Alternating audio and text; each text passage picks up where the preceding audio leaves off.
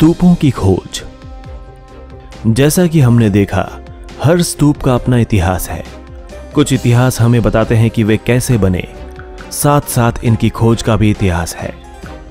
अब हम इनकी खोज के इतिहास पर एक नज़र डालते हैं। साल 1796 में एक स्थानीय राजा को, जो मंदिर बनाना चाहते थे, अचानक अमरावती के स्तूप के अवशेष मिल गए। उन्होंने उनके पत्थरों के इस्तेमाल करने का निश्चय किया।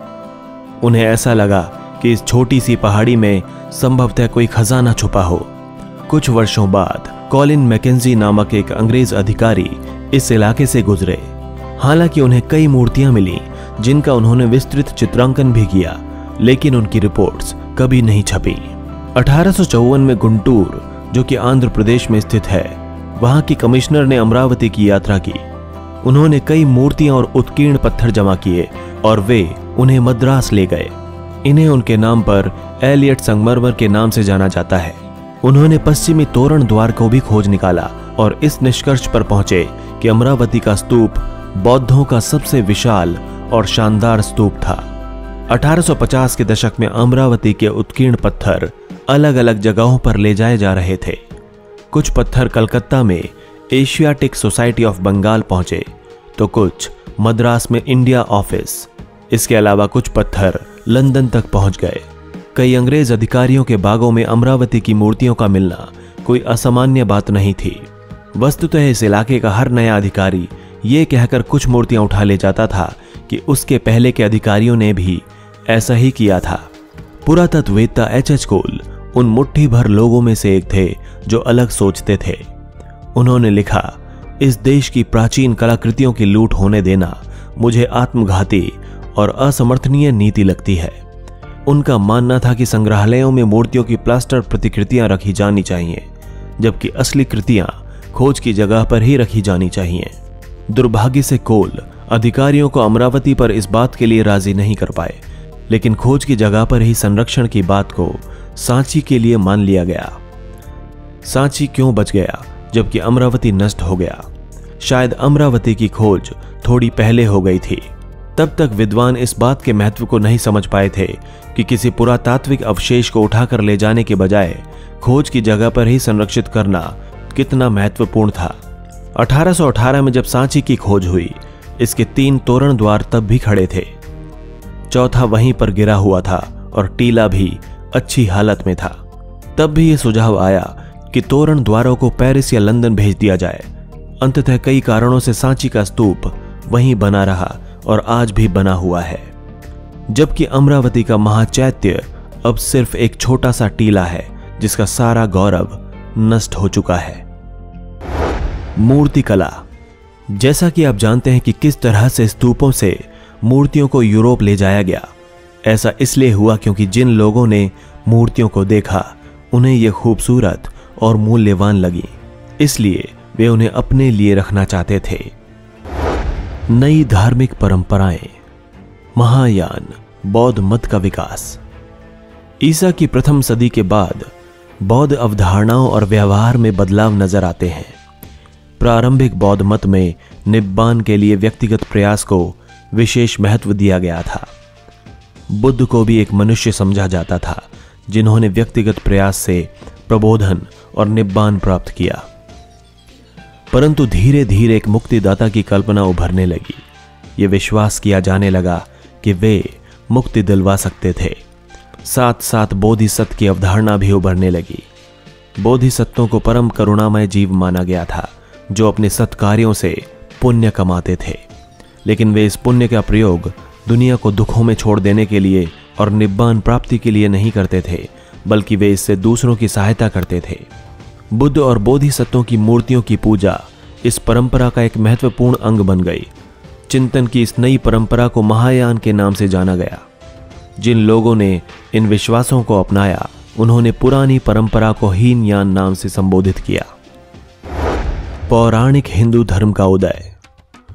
मुक्तिदाता की कल्पना सिर्फ़ बौद्ध धर्म तक सीमित नहीं थी।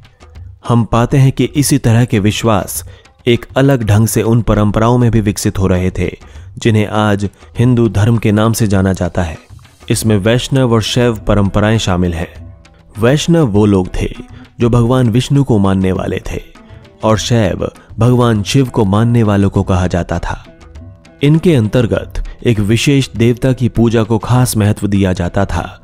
इस प्रकार की आराधना में उपासना और ईश्वर के बीच का रिश्ता, प्रेम और समर्पण का रिश्ता माना जाता था। इसी को भक्ति कहते हैं। वैष्णववाद में कई अवतारों के इर्द गिर्द पूजा पद्धतियाँ विकसित हुई। इस परंपरा के अंदर दस अवतारों की मान्यता है। ये माना जाता है कि पापियों के बढ़ते प्रभाव के चलते जब दुनिया में अव्यवस्था और नाश की स्थिति आ जाती थी, तब विश्व की रक्षा के लिए भगवान अलग अलग रूपों में अवतार लेते थे।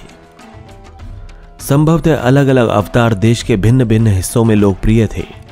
इन सब स्थानीय देवताओं को विष्णु का रूप मान लेना एकीकृत धार्मिक परंपरा के निर्माण का एक महत्वपूर्ण तरीका था। कई अवतारों को मूर्तियों के रूप में दिखाया गया है। दूसरे देवताओं की भी मूर्तियाँ बनी। भगवान शिव को उनके प्रतीक लिंग के रूप में बनाया जाता था, लेकिन उन्हें कई बार मनुष्य के रूप में भी दिखाया गया है। ये सारे चित्रण देवताओं से जुड़ी हुई मिश्रित अवधारणाओं पर आधारित थे। उनकी खूबियों और प्रतीकों को उनके शिरोवस्त्र, आभूषण, आयुधों, यानी हथियारों और हाथ में धारण किए गए अन्य शुभ अस्त्र और बैठने की शैली से दिखाया जाता था। इन मूर्तियों के अंकन का मतलब समझने के लिए इतिहासकारों को इनसे जुड़ी हुई कहानियों से परिचित होना पड़ा। कई कहानियाँ प्रथम सहस्राब्दी के मध्य से ब्राह्मणों द्वारा रचित पुराणों में पाई जाती हैं। इनमें बहुत से किस्से ऐसे हैं जो सैकड़ों वर्ष पहले रचने के बाद सुने सुनाए जाते रहे थे। इनमें देवी देवताओं की भी कहानियाँ हैं। सामान्यतः इन्हें संस्कृत श्लोकों में लिखा गया था। इन्हें ऊँची आवाज़ में पढ़ा जाता था, जिसे कोई भी सुन सकता था। महिलाएँ और शूद्र, जिन्हें वैदिक साहित्य पढ़ने और सुनने की अनुमति नहीं थी, पुराणों को सुन सकते थे। पुराणों की ज़्यादातर कहानियाँ लोगों के आपसी मेल जोल से विकसित हुई। पुजारी, व्यापारी और सामान्य स्त्री पुरुष एक से दूसरी जगह आते जाते हुए अपने विश्वासों और अवधारणाओं का आदान प्रदान करते थे। उदाहरण के लिए, हम ये जानते हैं कि वासुदेव कृष्ण मथुरा इलाके के महत्वपूर्ण देवता थे। कई शताब्दियों के दौरान उनकी पूजा देश के दूसरे इलाकों में भी फैल गई।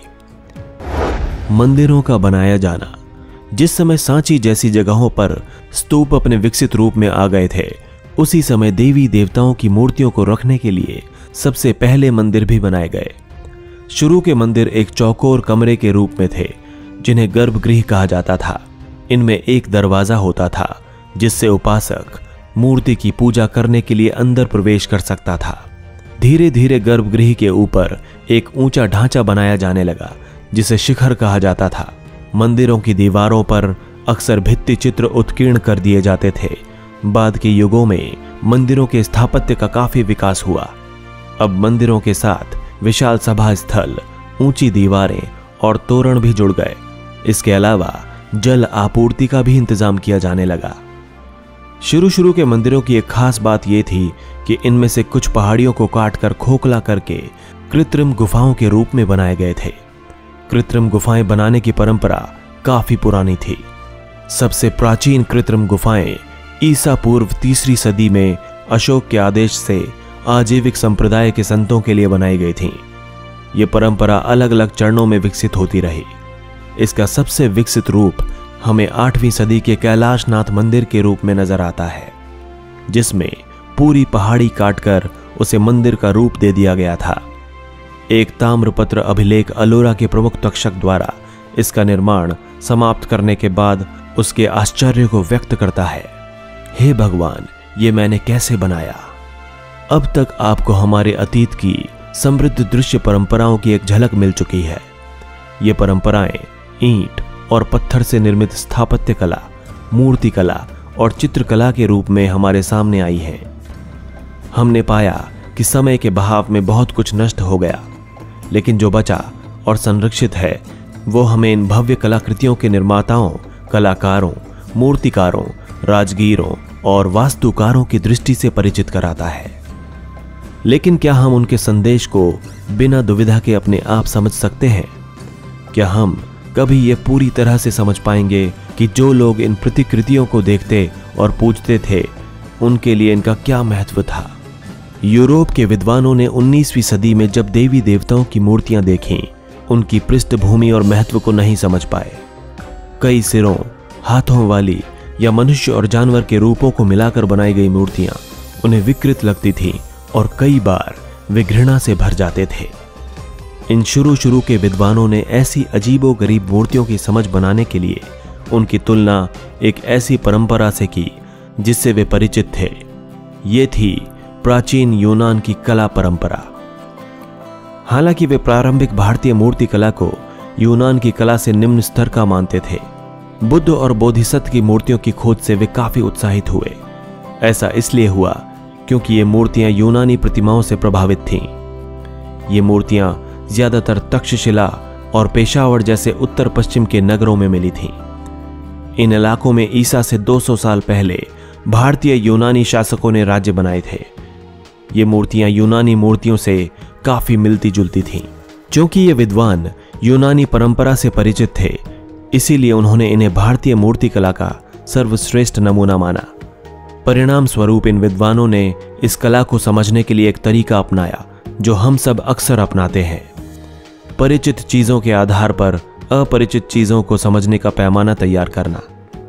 किसी मूर्ति का महत्व और संदर्भ समझने के लिए कला के इतिहासकार अक्सर लिखित ग्रंथों से जानकारी इकट्ठा करते हैं।